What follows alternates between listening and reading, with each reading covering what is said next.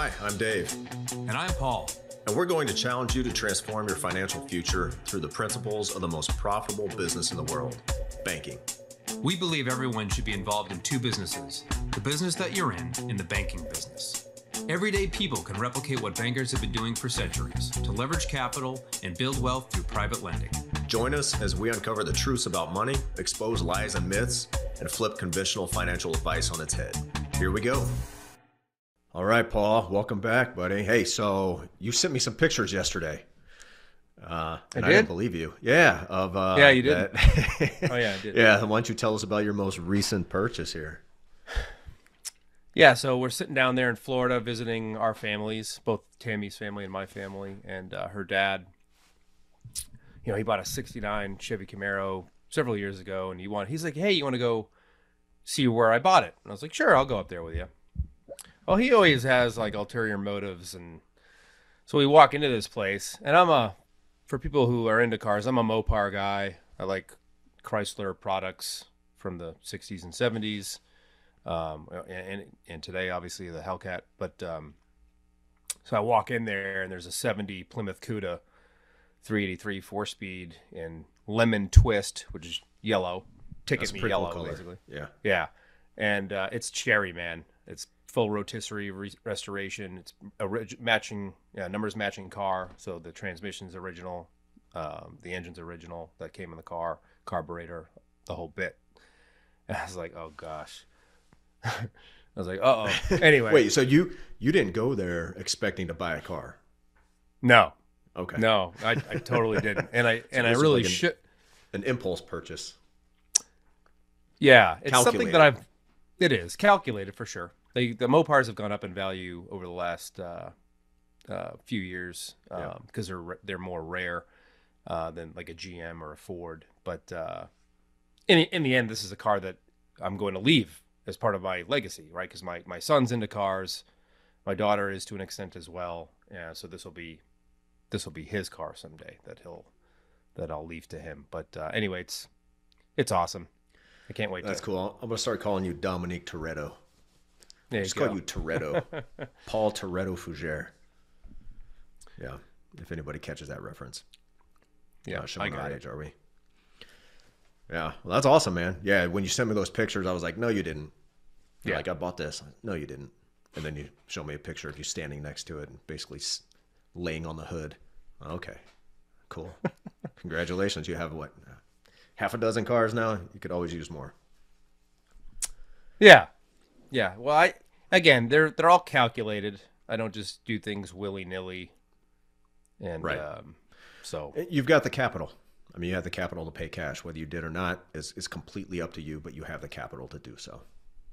well, according to that one comment, I should be doing velocity banking. Yeah, that uh, that comment we got on our YouTube channel. Apparently, you guys haven't heard of velocity banking. We might have to address that at some point. Yeah, just for the record, if you do listen, we know exactly what velocity banking is and how to do it. Yeah, and I've got a client who does that, and he started with that, and then it led him to IBC, and now he's kind of combining the two, and eh, you know, it, it's working out really great for him. Um, Right. you know, because Yeah, most people use- house. Most Yeah. people use HELOCs to do it, but Yeah, uh, yeah. uh, life insurance policy loan is a better better way to do it. Obviously, Sure, you can bank with a HELOC. sure. um, but it's it's not the superior product or uh, No. asset to bank with. Yeah. Well, cool, man. Um, hey, I wanted to let's tell a client success story. So we had one of our clients write in, send us an email, and just gave us like a little success story. Which this is awesome. I love getting these because it's like, hey, man, people are really grasping this, and they're opening their eyes, and their their creativity is going and they're finding better ways to utilize their capital and to sequence their capital. So this client, he says, um, he's talking about his mortgage escrow, and he's like, it, it made me think about how I could sequence those mortgage escrow funds, like the tax escrow funds, if I manage my own property and tax hazard insurance. He said the background is last month I received a notification that my mortgage would increase because my escrow was short funds. His insurance went up this year. Uh, Alaska property taxes are a moving target, so he wasn't surprised, but just frustrated that that money was being leveraged by someone else's bank while it was just sitting there for six months ready to be paid. Because that's how mortgage and um, taxes work. They're paid uh, semi-annually, so that money sits and accumulates in somebody else's bank for six months, and then that bank sends the check. And they're like, you know, we're doing you a service here because you don't have to think about it. You don't have to write that check and, and keep track of it, right? Um, but he goes on to say, hey, this probably isn't awe inspiring like some of your other stories, but I reached out to my bank and inquired if I could close my escrow and manage my own tax and insurance payments. Given my on time payment history and equity in the house, they approved it in relatively short order. So beginning 1 Jan, I'll have just over $12,000 a year that I can sequence into policies first. Congratulations. That is, that's awesome, right? He just created a new uh, opportunity to open another uh, branch of his bank with money that's leaving his his economy anyway. He's just sequencing it into his own bank first. How cool is that?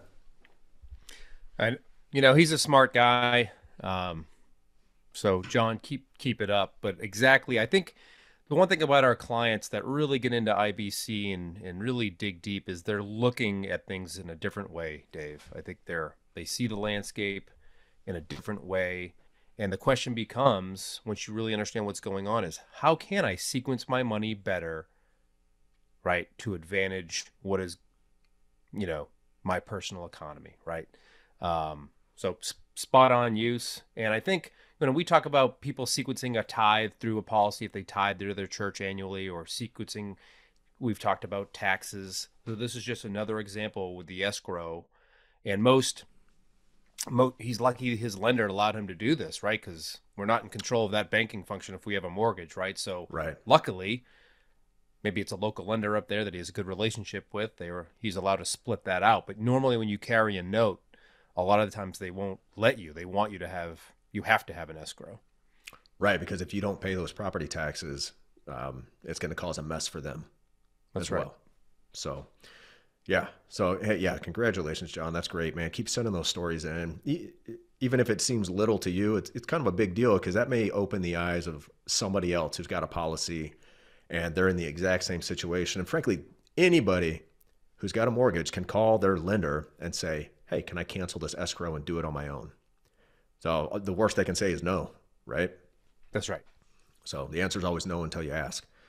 Um, and that's a great example of of really not overthinking it either. So I've got um, a couple other clients who who have reached out with questions about, you know, some people have different buckets, different savings accounts where they put vacation savings, you know, or education, like all these different segments, right? And now they're instead throwing all of that into a policy. So their savings account is in their policy, but it's all jumbled together now, right? Um, so some people struggle with, hey, how do I segregate what's for, you know, what's what inside when I put all of my different savings accounts into a single account? Um, and maybe that's something we can get into in, in more depth um, in another episode. But I'll just say to that one, don't overthink things. You know, people can make this as complicated as they want to be, but you can keep it pretty simple. Hey, it's just another place to put my money until I'm ready to use it, whatever yep. that use may be and it's seemingly the same amount of dollars and dollars that they already had that right. were already earmarked for something. Um, if anything, they're simplifying things, Dave. We've talked about this in the past, where you know I've had friends that have talked about the the envelope method or the I have a different debit card for groceries than I do. I used clothing. to do that. I did that for right. a, a year, maybe two years. Yeah, and I think that is just insane. Uh, maybe it works for some people, but you know, my wallet only holds 12 cards. I don't want any I don't want any more. That's that's enough. 12 different, you know, IDs and credit cards and whatever. Right. Um in this by doing it this way, I, I like the consolidation of my wealth where I'm not don't think of this as putting all your eggs in one basket, but you're you're simplifying just where it is. Like, hey, I need to go on vacation. All right, we're going to the family banking system and we're gonna take policy loan out and boom, pay for that vacation. Mm-hmm. Um, if anything, I think it's just simplification of, you know, we all, and I think we all need that. Yeah. Yeah. I, I like consolidation and, and simplification. Those are two great qualities uh, that, that infinite banking can really do for you if you don't mm-hmm. muck it up by, by overthinking things. Yeah. When it comes to, you know, vehicle financing, eventually doing trading on a mortgage, college education, legacy planning, tithe, vacation. I mean, the list goes on and on and on. Yeah. Great. Well, that's that's a great start. So you mentioned a word earlier when you were talking about that new Cuda you purchased. Uh, you said legacy. So that's that's a part of your legacy that you're leaving to maybe Anthony, right? And, and you're not just going to leave the car to him. What else are you leaving when it comes to that car? Yeah, part of the reason. Well, I'm glad he he's interested in cars because because I am, and his both his grandfathers are, and his uh, one of his great grandfathers was. Anyway, um, so yeah, part of my bringing him up there was to to know that hey, this is not this is not to be done willy nilly. We're just going and buying liabilities left and right. Um, this is this is why I'm able to do this without without question, without being like, oh, am I going to be able to afford uh, the grocery bill this month because I bought this car that I don't need. Right. Um, and I talked to him through those things of, hey, I'm able to save. We save a lot of money, and we put it in a place where we can get to it to do the things that we would like to do or need to do, whether that's buy liabilities like a classic car, which eventually could, could be turned into be an, asset. Yeah. for sure. It's they're not making any more 1970 Cudas. Right. Um, but so I think the ed- like like you said, the education is is so huge, and he understands that he has a dividend paying whole life insurance contract that we pay premium on, and that is going. And I show them every year it grows. Like, hey, last year it had this much cash value and death benefit. This year it has this much. So they under, understand that. Um, so yeah, the education is is likely the most important part of all of this legacy planning is how to think about money and what to do with your money and where to put it. Yeah, that's a perfect example because legacy means a lot more than just money. I think when we uh, when we talk about infinite banking and then the mechanics of we talk about creating generational wealth, right? And I think a lot of times we don't spend enough time defining what wealth means. And wealth goes far beyond just dollars, dollars and cents and, and assets. Um, with those families that really spend time on legacy planning, uh, what what is it? You know, most I, I saw a stat the other day. It takes like less than three generations for a family to to completely use up all the wealth that they inherited. You know, if it gets inherited from one generation to the next, by generation three, it's gone. Uh, typically, right? Yeah, So it's even- those, Yeah, even the Vanderbilt burned, you know, generation three and four burned through all of it. Right. Yep. And it's gone. Right. They have to go get a, a job at CNN now to, to pay the bills. I was gonna say now they got Anderson Cooper. yeah. Yeah. He's carrying on the family legacy there. So, um, so that legacy planning, and I, I just started reading a book. It's over here called Entrusted: Building Building a Legacy That Lasts. Because this year I really want to get heavy into understanding trusts and the way trusts play a part in that legacy planning, which I think they're vital for proper legacy planning. And I'm going to get really um, in the weeds on that early this year so I can put that in place for my family. Um, and, you know, uh, it's going to pay major dividends. And I think we need to get like a trust expert on the show at some point because I think that's a such a huge valuable uh, or value add to everybody is understanding the role that can play in your legacy planning and while you're alive and while after you're gone. So, you know, directing um, your wealth from beyond the grave is a pretty cool idea. yes, I I think especially if you know, let's face it, we all hope that our children um, adopt our at least how we think about money and how we manage money and you know everyone knows that Dave's like the cheapest person ever. Um, Yeah, most people, anybody who knows me well knows that. Yeah. which I didn't put that together until I was at your wedding, and of course, all the all the guys that he's known longer than I've known known you. Uh, I've got saying, a "Oh, reputation yeah." to to uphold, man. right? Um, so The the least cheap thing I've ever done is is that wedding. So I spent a lot yeah, of money and it was year. and it was beautiful. It was very nice, Thank you. very nicely done. And The uh, honeymoon was nice. but too. anyway, yeah. But anyway, I lost my train of thought when I had to bust your chops there about the wedding. But um, Yeah, it's okay. Um, I mean, just going back to legacy planning. So, what does legacy mean to you? So, if you had to say, you know, this is what legacy means, and this is the, this is what I want my children. And you don't have to get into you what what you want them to carry on, but you know, what does legacy planning mean to you? Obviously, it means more than just I'm going to leave them a lot of money, you know, income tax free money when I graduate from this earth. Like they're Right. they're not going to have any issues. Um, but that there's pros and there's cons to that. So, you know, what do you And think when you when you hear legacy? well, that's where the trust comes into place. Um, yeah, I just I just regained it what I uh, what I lost about thirty seconds ago. So anyway, talking about I don't want to necessarily be like oh, I'm controlling the money from the grave, but I do want to have some you know limited use clauses in there where it has to be for something you know you need to do something productive with the money. You can't just willy nilly blow it on whatever. Um, Yeah. But yeah, Dave, to me- 1970 Cuda. yeah. Unless it's, you know, maybe it's a Hemi car. Maybe it's 426 Hemi, you know, Hemi Cuda, which there's only a, f- a few hundred of those left. So, Valid. um, but they're, you know, one one sold at Mecum a few years ago for three and a half million dollars. So there it is. All right. Anyway, I didn't buy one of those. Uh, so it's the education for me. It's the and, and and part of that, not only the financial education, but the the history of money, the history of of how governments throughout the ages, what they have done to devalue currency and debase it, all going going back to the Roman Empire, um, and now we see it with our own, you know, Federal Reserve System.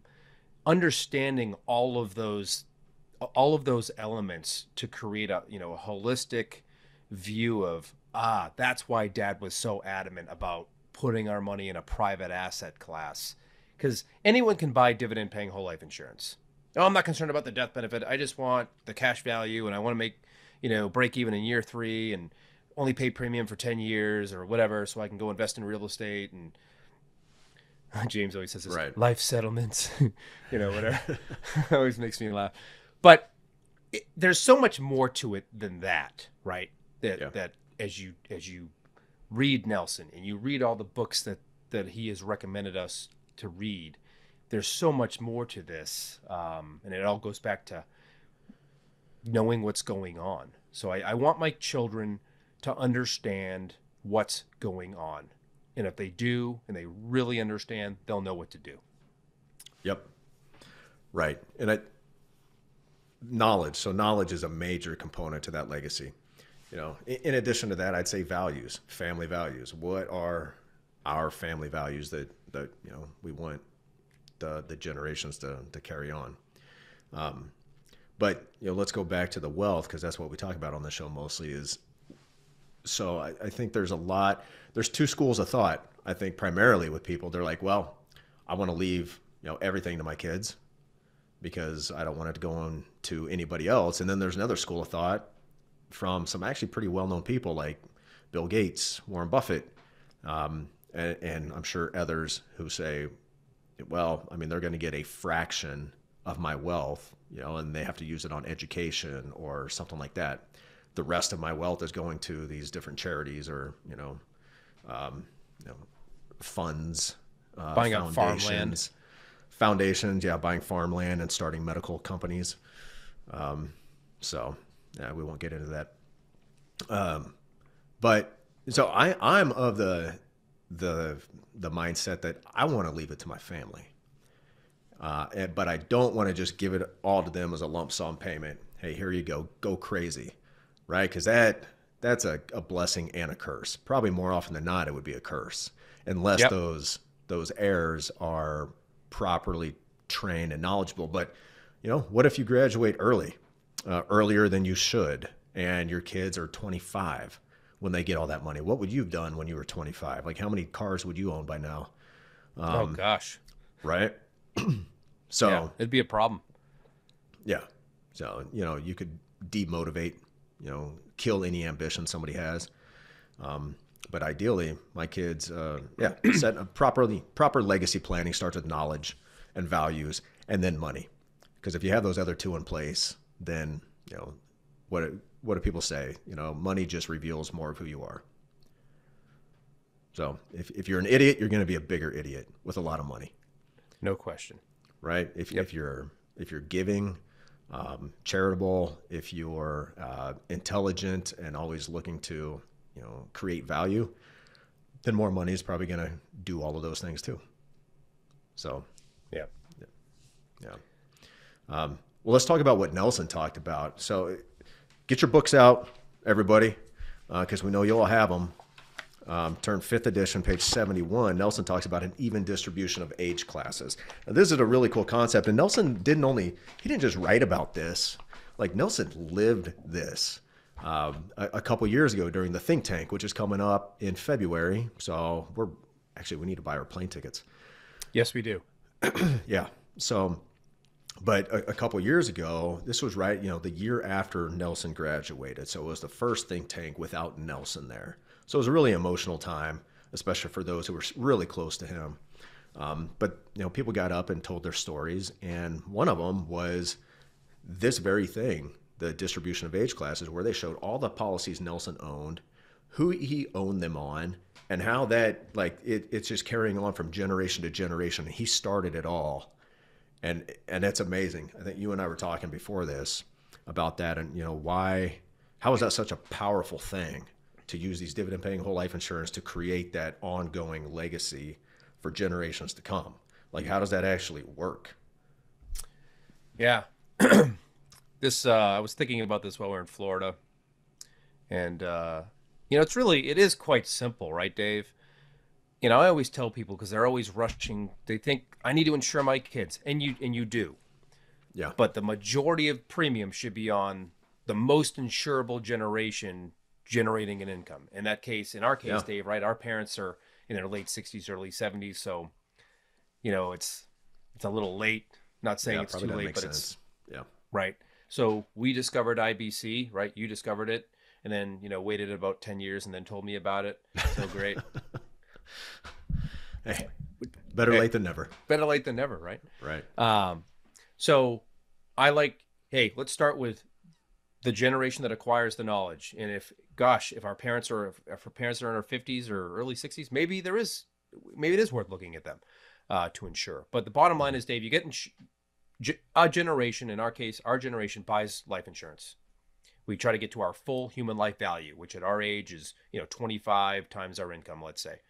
Um, Yeah, let me let me s- hit on that real quick. Human life Yeah. value. Your human life value is going to grow throughout Yes. your life, right? because static. you're it's not static. You're going to acquire more assets. Ideally, you're going to you know create more income as you get older and have a bigger paycheck coming in every year, right?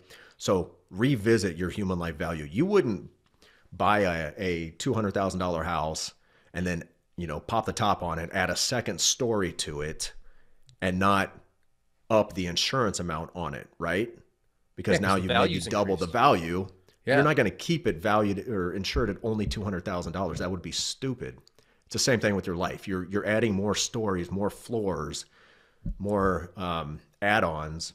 You know, More square footage. goes- more square footage. Well, ho- hopefully not around the waist, but you're adding more square footage in this example as the years progress. So you need to add more insurance. Okay, sorry, I, I probably Right. broke your train of thought there, but No, it's totally fine. That's a great that's a great point. Like I'm always looking to add more policies on myself or Tammy or not the kids, not yet, right? Because juvenile policies aren't super efficient anyway. Um, well, yeah, me I mean, it will that. be. They are, It will be but- when they're the, our They- age. yes, Yeah, no question. for sure.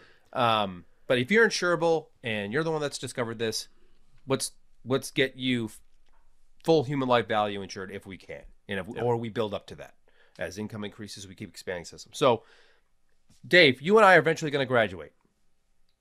Okay, and just like Nelson's example that David was talking about at the last think tank, was you know he gets a phone call say, "Hey, you have any room in your policies?" What does that mean, everybody? That means, "Hey, I've got some policy loans out." Yep. So this is like, you know, I'm calling up Anthony 40 years from now. Hey, you got room in your policies?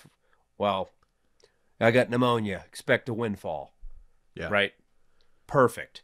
So what that does, that fills his policy or policies up, his system of policies that he's that he's been using for family banking. So Anthony's good now, and Mhm. Carmela's good now. They filled up their loans. Now they've got what's left over.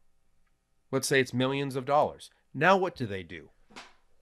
Well, they likely just increased their net worth.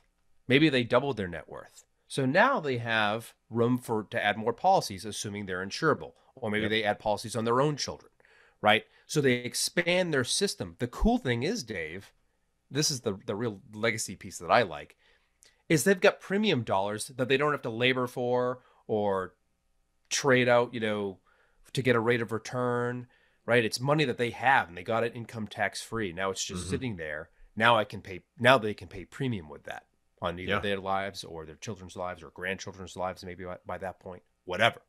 So it becomes if every generation does exactly that, you end up with I, I don't want to say the wrong thing here, but it's you ultimately end up with free life insurance, assuming you're insurable, right? Like You're right. I inherited five million dollars. Okay, great. Now I can use that to pay premium. Yeah, or you know, use that to go buy some assets that generate income, Income every year that goes toward premium. Right. Right. Amazing. That's right. You can do it Yeah. many different ways, I suppose, for sure. Yep, exactly. So, and that's what it means. so I know, you know, Nelson owned something, you know, 40 something policies, I believe it was throughout his life. Yeah. But, you know, those are not just on him, all his immediate family members, kids, grandkids, you know, um, in-laws, children-in-law, um, all of that. And, and, you know, all the way down, like the youngest kid, soon as, soon as somebody's born, bam, policy. Yep. Um, because that goes back to one of these on page 72. Nelson talks about um, the significant advantages to this plan. And one of those is um, underwriting problems are minimized. Oh Hey, boy. the sooner you can get insured, and man, have I seen that a lot in 2022.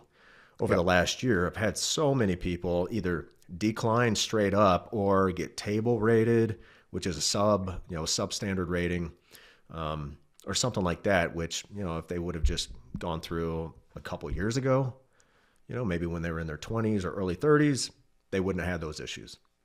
But it's that's just the way it is. As you get older, you know, there's more opportunity for bad things to happen to your body and your health. Yep. So the sooner the better.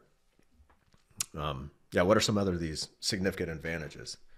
Yeah, I mean that's a big one. He put that one as uh you know, obviously we covered the multiple multiple generations. Again, we're reading from page 72 on the right side. He's just got like a little bulletized summary of why this is a great idea, right? Um, you know, tax-free buildup of cash values over a long period of time. Oh, I like this one, Dave. I I have this underlined for some reason, and I can't tell you. I didn't date it, but outlay is very small compared with the ultimate yield. So what he's saying there, folks, is the dollars paid in premium, especially on a juvenile policy. When you, I just opened up one on a two-month-old baby. The the amount of premium that that man eventually has paid over his lifetime relative to his uh, cash value and death benefit is minuscule. Oh the yeah. death benefit and cash value is many, many, many, many times over what he's paid in premium, and it's none of it's going to be taxed, assuming he uses it correctly with loans. and it just gets better the longer he lives. Every year you Oh. live, the better it gets. It's crazy, and it's a small one, right? It's two thousand dollars a year premium. That's it. Yeah, which is which is plenty to make an incredible difference. Yep. When when he's an adult, you Yep. know, or retired, you know, creating a tax free income. So, yeah, um, generation paying the premiums can most easily afford them. So, as um, as you create these policies on your children, at some point, you can hand the ownership over to your children.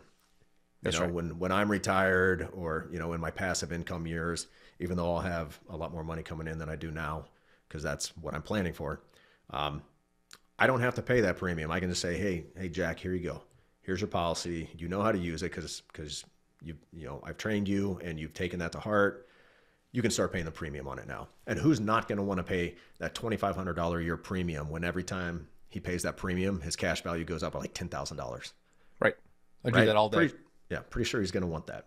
Um, so, Yep. and, and like you alluded to before, when the death benefit occurs, uh, the system becomes self-sustaining at that point because that tax-free income, income tax free payout comes to those generations and replenishes and and creates more policies. Right? And as long as people keep doing It's- that, it never has to end. It's brilliant. Mm-hmm. But you can't abuse that system, though. But it is it. Um, you know, Dave. This something that we that we talked about is how many people have you talked to over the last few years in this business where they're our age, but their parents are now 72 and a half years old, and they've got requ- you know RMDs, required minimum distributions coming out of a 401k, and they don't need the money. And my answer to them, and I don't know if they ended up doing it, this is because this particular person I'm thinking about has since become an agent. I was like, man, that's that should be premium on you and your children. Absolutely. And they own the policy. They transfer ownership upon graduation. Um, Yep. What a great storage facility for that money. And then they still have access via the you know cash value policy loan if they need it, right? Yeah. Um, Something just something to think about for people that are taking RMDs that don't need them yep. or inherited Exactly. IRAs or for You got to take that. You're, you're gonna if you don't need that money, it's gonna sit somewhere in somebody else's bank. So it might as well be premium and Yep. creating a legacy. Yeah, exactly. Uh, it, this precludes any need for Social Security. So if you can retire and start taking tax-free income from the cash value of your life insurance policies, eventually, you know, if everything goes like it should and your parents predecease you, you're going to receive that windfall and be able to replenish all of that tax free income you've been taking over your retirement years and fill it all the way back up and probably give yourself a pay raise in retirement and start taking bigger chunks every year. So, what a what a great retirement uh, strategy there. Yeah, I underlined that too, because that goes hand in hand with the next next bullet is passive income is assured. Yeah, it's a, it's guaranteed. You know, I like that. Guaranteed. That's a better word than assured, but they mean Yeah. the same thing. But yeah, it's guaranteed. Right. Um, estate planning is simplified. So, hey, here's cash. Yeah, Done. it creates it literally creates an estate. It does create an estate. Um, yeah, absolutely. I was thinking, I don't know if you're familiar with the movie Secretariat with uh, Diane Lane, and uh, it's, I don't know, 15 years old now or whatever. But part of the problem with that whole horse farm was was inheritance tax. When Oh, the father died, they wouldn't, you know, so they had to. And luckily, Secretariat became a big horse, and they studded him out, and blah blah blah. But um, you know, the greatest horse ever. But I was thinking, I was like, man, if he had had proper whole life insurance, you know, been fully insured for the value of of, of all of his wealth that he had created, that had Mhm. been in horses and land and whatever, um, maybe that wouldn't have been an issue. But I, I don't know. They didn't cover that in the movie, but uh, my guess is he didn't have adequate life insurance. I think that's a major problem facing a lot of families these days with land, you know, farmland or something like that, Yeah. passing it on to the generations and figuring out, you know, most of these kids don't farm anymore. They went off and got jobs, and they're like, Right. now we got, now we got to sell this land or and you know lose a ton of money in taxes, or we keep it and we have to pay inheritance tax. I don't know. I don't know that that area too well, but I know that's a major problem facing a lot of people. Yep. How much simpler would that problem be if you had millions of dollars to help sort it out? Right, because you could. That just gives you more options, Dave. Right? Yeah, Like, it- hey, you're right. I could pay the inheritance tax and sell a property, or or or keep it. You know, whatever. You know, it just gives just gives you flexibility, and you're not like, oh no, what do we do? Yeah. At likely a disadvantaged position because you don't have options. Yeah. There's Exactly. blood in the water, and you have to deal with it. Yeah. Yep. And then most importantly, I think it, it, it creates a wealth mentality that's transferred from one generation to the next and that, that stewardship. So if you're not a good steward, you know, you're not going to do well with money. Uh, it doesn't matter how much you make. If you're not a good steward, you're going to end up broke just like everybody else who's making, you know, a quarter of what you make. You make 50 grand a year, you make 500 grand a year, you'll end up in the same position. Broke if you're not a good steward. That's right. You know, we've got some some friends that uh, that we talk to, and and they they have good incomes. You know, their combined income is probably 250, 300. and uh, but I don't I don't know where it all goes. You know. Yeah. Um, anyway, that's just a, something popped into my head. It's just, uh, but then I've I know people that are on single income that pay super high premium, Yeah. right? Yeah. Uh, on one income, they pay super high premium relative to their income. So it's it's just amazing lifestyle and and that stewardship of of their money. Hey, live for today. That's great, but I would save twenty five percent of your income if you can, and then live for today. Right? Yeah. That's how, how I Yeah. would do it. But And a lot of that is passed down through generations. So, yeah, all right, man, we've uh, we've gone a little longer than usual here, but it was a good topic. I think we could definitely go, you know, multiple episodes on this topic of legacy. And I think as I get smarter on the trusts, um, and bring bring in an expert perhaps to to answer some questions and and expand on that, I think it's going to be pretty valuable. So stay tuned for that. We'll do that this year sometime. So sounds great. All right, man. Hey, good talking to you. And uh, hey, like we always say, control your capital. Or somebody else will. Hey, thanks for listening, everybody. If you'd like to have a conversation with us to see how you can become your own banker, or if you have any questions or topics you'd like us to tackle on a future episode, please send us an email to David and Paul at theibcguys.com. And subscribe and leave us a review if you're on Apple. Follow and leave us a five star review if you're on Spotify. And please share this with your friends. We'll see you next week.